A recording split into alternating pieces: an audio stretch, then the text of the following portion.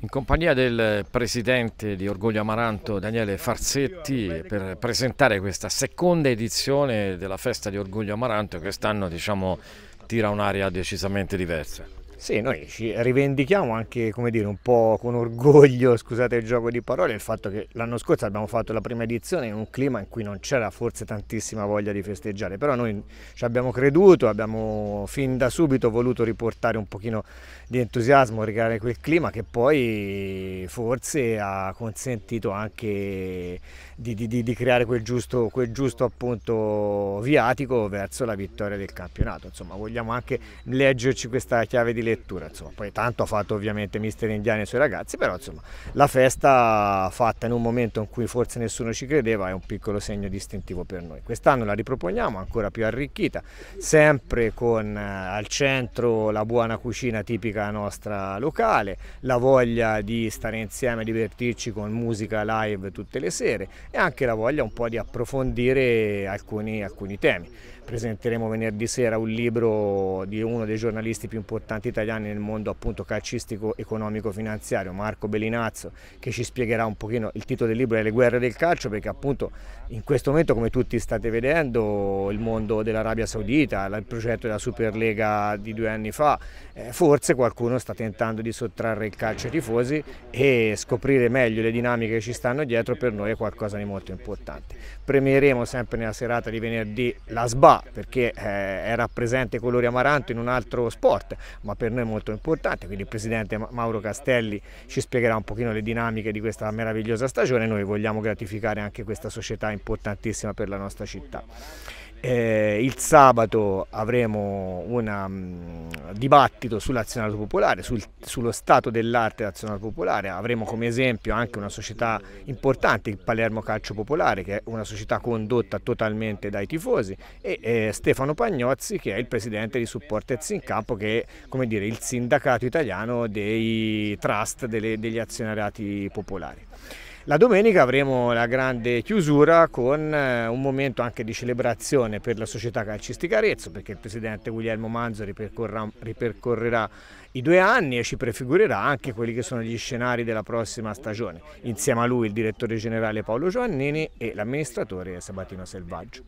Anche l'assessore Scapecchi in questo giorno di presentazione della seconda festa di Orgoglio Amaranto, allora è un momento di grande partecipazione. Sì, grande partecipazione popolare non solo degli sportivi ma direi dell'intera città perché qua specie diciamo nelle, nelle, ore serali si sta bene, c'è il fresco quindi consiglio a tutti di venire, si mangia anche bene, questo a, a, a merito della Proloco del Bagnoro che ospita l'evento e a merito di Orgoglio Amaranto che insomma è riuscito in questa collaborazione anche quest'anno, penso proprio che sarà, mh, diventerà un grande classico questa festa perché veramente è ben riuscita. E tra l'altro complimenti Orgoglio Amaranto per averci creduto l'anno scorso in un momento anche un po' difficile per la tifoseria dopo la delusione per un campionato non vinto, oggi il cielo è più sereno in tutti i sensi e quindi ci sarà ancora più voglia di festeggiare. Un programma molto ampio che si apre anche al basket e questo è bello perché Orgoglio Amaranto deve esserci sempre quando qualcuno indossa la maglia Amaranto, che siano calciatori o, o sportivi di altro tipo, uomini o donne, è, è bene tifare fare squadra da questo punto di vista. Ottima musica, dibattiti importanti sia con la dirigenza sia con dei giornalisti importanti a livello nazionale, quindi veramente un ottimo programma. Il Comune patrocina e sostiene molto volentieri questo evento che, ripeto, eh, penso proprio che diventerà un grande classico di inizio estate. Ecco, ci sono eh, novità eh, riguardo lo stadio, perché insomma, eh, la società subito dopo il giorno del trionfo in campionato annunciò che appunto avrebbe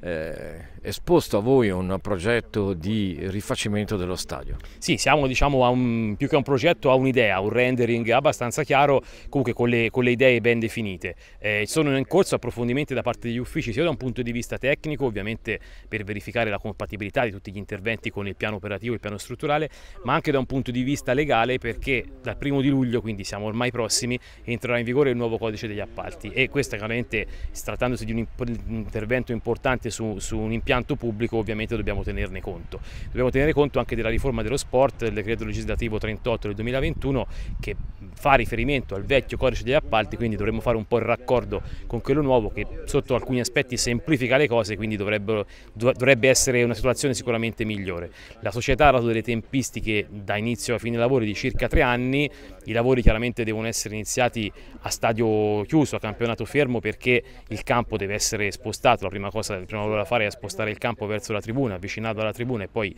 procedere con il rifacimento degli altri settori, quindi ipotizziamo alla fine del campionato che dovrà ancora iniziare un inizio